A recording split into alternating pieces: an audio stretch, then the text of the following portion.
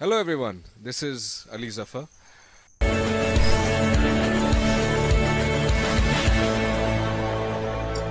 Hello viewers آپ دیکھ رہے ہیں انٹرٹینمنٹ پلانٹ ویورز آج کی اس ویڈیو میں ہم بات کریں گے علی ظفر کے بارے میں. علی ظفر ان ملٹی ٹیلنٹڈ ایکٹرز میں سے ہیں جنہوں نے اپنی ٹیلنٹ کی بنیاد پر اپنے آپ کو بارڈرز کے دونوں ہی طرف منوایا ہے. ویورس اس ویڈیو میں ہم آپ کو علی ظفر کے بارے میں ایسے 25 فیکٹس بتائیں گے جو کہ شاید ہی آپ جانتے ہوں۔ اسی لیے آپ سب سے ریکویسٹ ہے کہ آپ اس ویڈیو کو لاسٹ تک دیکھیے گا۔ تو چلیے شروع کرتے ہیں۔ Number one. علی ظفر کا پورا نام علی محمد ظفر ہے۔ علی ظفر ایٹین میں نائنٹین ایٹی کو لاہور، پاکستان میں پیدا ہوئے اور ان کا سن سائن ٹورس ہے۔ Number two. علی ظفر ایک ویل ایڈوکیٹڈ فیملی سے تعلق رکھتے ہیں۔ ان کے پیرنٹس بائی پروفیشن پروفیسرز ہیں اور یونیورسٹی آف پنجاب میں ایز انسٹرکٹر جاب کرتے ہیں۔ Number three. علی ظفر اپنے بہن بھائیوں میں سب سے بڑے ہیں۔ ان سے چھوٹے ان کے دو بھائی ہیں۔ زین جو ان سے پانچ سال چھوٹے ہیں اور دانیال ظفر جو recently as emerging talent Coke studio میں ابھرے تھے۔ ان سے تقریباً پندرہ سال چھوٹے ہیں۔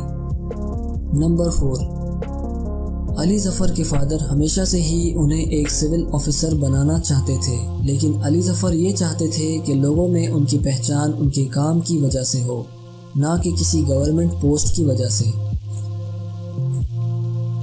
نمبر فائیو، علی ظفر نے سی اے اے لاہور میں اپنی ارلیئر ایڈوکیشن ففتھ اسٹینڈرڈ تک پوری کی۔ اور لیٹر آن کسی وجہ سے سکس اسٹینڈر سے بگن ہاؤس میں ایڈمیشن لے کر اپنی میٹریکولیشن وہی پر کمپلیٹ کی۔ اور ان لائک ادر سیلیبریٹیز سب سے انٹرسٹنگ بات یہ ہے کہ میٹرکس ایگزامس میں علی ظفر نے ٹاپ کیا تھا۔ نمبر سکس ان 1998 اسکولنگ کے بعد علی ظفر نے ایک گورنمنٹ کالج یونیورسٹی میں ایڈمیشن لی۔ جہاں پر انہوں نے ایف اے ان آرٹس کی ڈگری کمپلیٹ کی۔ Number seven.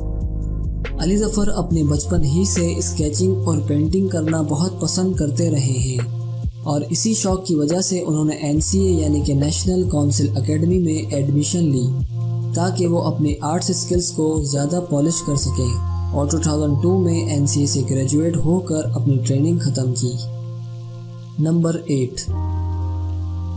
علی ظفر نے ایک انٹرویو میں بتایا کہ وہ ایک مڈل کلاس فیملی سے تعلق رکھتے تھے اور اسی لیے انہیں ایک وقت میں یہ احساس ہوا کہ انہیں اپنی فیملی کو فائنینشلی سپورٹ کرنا چاہیے۔ تو انہوں نے ایک دفعہ اپنے فادر سے اس بارے میں ذکر کیا کہ وہ پینٹنگ اور اسکیچنگ اچھی کرتے ہیں اور اسی آرٹ کو یوٹیلائز کر کے یعنی کہ کہیں بیٹھ کر پورٹریز بنا کر سیل کر کے ارننگ کرنا چاہتے ہیں۔ تو اس طرح ان کے فادر نے اپنی یونیورسٹی کی کولیگ کے ذریعے سے پی سی ہوٹل لاہور کے جنرل مینیجر سے کہہ کر انہیں وہاں ایک چھوٹا سا اسٹال لگانے کی پرمیشن دلائی، جہاں علی ظفر وزٹرز کے پورٹریس بنا کر سیل کیا کرتے تھے اور انہیں کوئی بھی اسکیچ کمپلیٹ کرنے کے لیے میکسیمم ٹوینٹی منٹس کا وقت دیا جاتا تھا۔ نمبر نائن، علی ظفر نے ایک انٹرویو میں بتایا کہ انہیں اسٹرگلنگ دنوں میں ان کی پارٹ ٹائم جاب کی فرس سیلری کچھ ففٹین ہنڈریڈ بنی تھی اور اس طرح انہوں نے تھرٹی تھاؤزینڈ منتھلی کمائے تھے۔ نمبر ٹین جب Ali Zafar P C hotel میں پارٹ ٹائم جاب کیا کرتے تھے، انہیں ماڈلنگ کی آفر ہوئی تھی۔ جب ویل نون فوٹوگرافر کھاور نیاز اور نبیلہ نے انہیں اسکیچنگ کرتے دیکھا تھا اور پھر انہوں نے علی سے کہا کہ وہ ایک شوٹ کر رہے ہیں اور علی ان سے آ کر کل ملیں۔ اور اس طرح علی ظفر ماڈلنگ انڈسٹری میں انٹر ہوئے۔ نمبر 11 علی ظفر اپنے انہی اسٹرگلنگ دنوں میں famous actress director Samina Pirzada سے ملتے ہیں۔ جب علی ظفر ایک پارٹی میں لائیو سنگنگ کر رہے ہوتے ہیں اور سمینہ پیرزادہ ان کا آڈیشن لیتی ہیں اور ان سے امپریس ہو کر انہیں اپنی فلم میں گانے کا موقع دیتی ہیں۔ اور اس طرح علی ظفر کو first project as singer sound track جگنوں سے بھر دے آچل فلم شرارت میں گانے کا موقع ملتا ہے۔ نمبر 12 بھلے ہی علی ظفر کا فرسٹ سانگ ہٹ نہیں ہوا تھا، لیکن علی نے all time famous song Channo گا کر اس وقت کے تمام ریکارڈز توڑ دیے تھے۔ یہ سانگ حکا پانی البم کا فرسٹ سانگ تھا۔ جس کی more than 5 million copies world widely sold ہوئی تھی۔ نمبر 13 ان 2013 علی ظفر ایسے میوزیشین ڈکلیئرڈ ہوئے تھے، جنہیں انڈیا میں تھرڈ رینک پر گوگل پر سرچ کیا گیا تھا۔ اور اسی لسٹ میں شاکنگلی انہوں نے famous Bollywood singer A R Rahman کو بھی پیچھے چھوڑ دیا تھا۔ نمبر 14 کچھ انٹرسٹنگ باتوں میں سے ایک یہ کہ 2010 میں ریلیز ہونے والی Hollywood movie wall street money never sleep میں علی ظفر کا ایک فیمس سانگ دیکھا تو دیوانہ ہو گیا فیچر کیا گیا تھا۔ اور علی ظفر ایسے فورتھ پاکستانی بنے تھے جن کا کوئی سانگ کسی ہالی ووڈ مووی میں فیچر ہوا ہو۔ یہ سانگ علی ظفر کے ریلیز ہوئے سیکنڈ البم مستی کا ایک سانگ تھا۔ نمبر 15 علی ظفر کی سب سے پہلی ملاقات عائشہ فاضل سے، جو کہ ان کی وائف ہے اسکیچ بنانے کے سلسلے میں ہی ہوئی تھی۔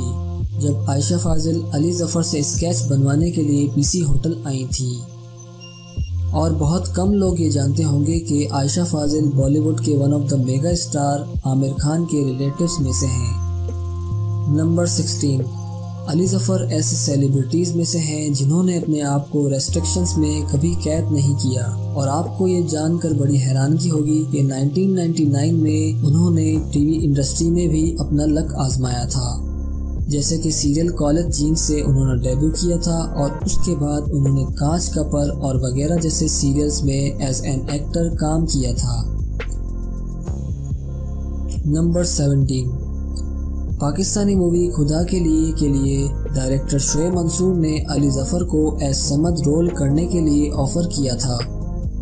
لیکن علی ظفر نے کچھ پرسنل ریزنز کی وجہ سے یہ رول کرنے سے منع کر دیا تھا اور لیٹر آن یہی رول فواد خان نے ایکٹ کیا تھا۔ نمبر ایٹین علی ظفر ایسے یونیک پاکستانی ایکٹر ہیں جنہوں نے اپنا فلم ڈیبیو ایک بالی ووڈ مووی سے کیا ہے۔ ان 2010 علی ظفر نے ایز لیڈنگ ایکٹر تیرے ملادن میں ایکٹ کیا تھا، جسے انڈیا میں بہت سراہا گیا تھا، اور فلم فیئر ایوارڈ میں بیسٹ ایکٹر ڈیبیو کے لیے نامینیٹ بھی کیا گیا تھا۔ نمبر نائنٹین بالی ووڈ میں ایک بڑے اپیننس ڈیبیو کے بعد علی ظفر ایسے واحد ایکٹر ہیں جنہیں تقریباً فورٹی فلمز کی آفر ہوئی تھی، لیکن علی اس معاملے میں چوزی تھے۔ علی نے کچھ ہی سلیکٹڈ فلمز میں کام کرنا پسند کیا، جیسے کہ میرے برادر کی دلہن، London, Paris, New York, total Siyapaa Chashme Baddoor, کل دل، اور اس کے علاوہ علی ظفر کچھ فلمز میں گیسٹ اپیرنس بھی کر چکے ہیں۔ نمبر ٹوینٹی آپ کو یہ جان کر حیرانگی ہوگی کہ علی ظفر ایسے واحد پاکستانی سنگر ہیں جنہوں نے انڈیا میں ایم ٹی وی انپلگڈ میں آیوشمان کھنانا کے ساتھ لائیو پرفارمنس کی تھی۔ اور ان کی پرفارمنس کو اتنا پسند کیا گیا تھا کہ انہوں نے پھر آیوشمان کھنانا کے ساتھ بالی ووڈ کے ایک میوزیکل ایوارڈ میں بھی لائیو پرفارمنس کی تھی۔ نمبر ٹوینٹی ون کچھ بڑی ہی انٹرسٹنگ باتوں میں سے ایک یہ کہ علی ظفر کو پہلی محبت اپنے اسکول کے دوران ہوئی تھی جب وہ ایٹ کلاس میں تھے۔ نمبر ٹوینٹی ٹو آپ میں سے کافی کم لوگ یہ جانتے ہوں گے کہ علی ظفر ایسے واحد پاکستانی ایکٹر ہیں جنہوں نے one of the Indian highest award Dada Saheb Phalke award receive کیا ہے۔ Number twenty three famous Bollywood music composers Himesh Reshammiya اور پریتم نے علی ظفر کے دو بڑے فیمس سانگز چھنو اور رنگین کی کاپی کی تھی، جس پر علی ظفر نے ایک انٹرویو میں کہا تھا کہ ایسا نہیں ہونا چاہیے۔ ان میوزک کمپوزرز کو ان کی پرمیشن لینی چاہیے تھی، جس پر ہمیش ریشمیا اور پریتم کو پاکستان میں کافی کرٹیسائز کیا گیا تھا۔